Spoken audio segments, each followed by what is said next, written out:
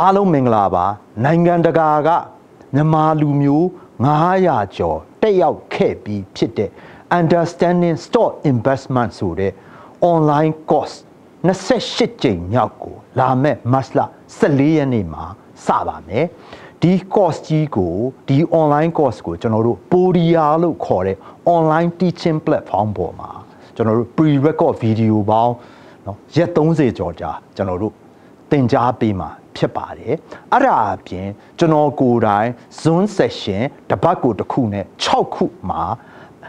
တိတ်တစ်ခါကိုအနည်းဆုံး2နာရီကနေ3နာရီကျွန်တော်ကိုယ်တိုင်ထိတွေ့ပြီးသင်ကြားပေးမှာဖြစ်ပါတယ်